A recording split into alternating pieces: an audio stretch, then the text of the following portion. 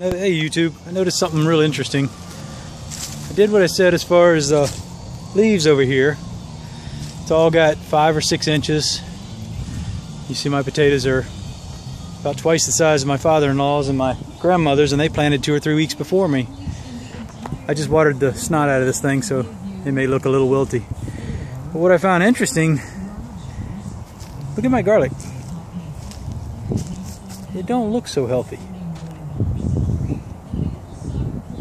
Real weak, real small.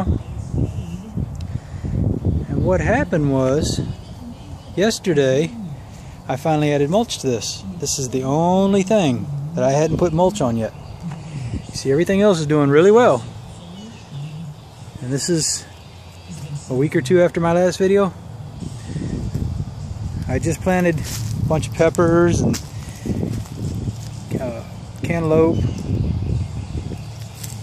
but they were just wilty, lifeless. So, kind of shows to me that the the mulch is really doing a good job. We'll uh, we'll see in another few days if they start perking up a little bit. Thanks for watching.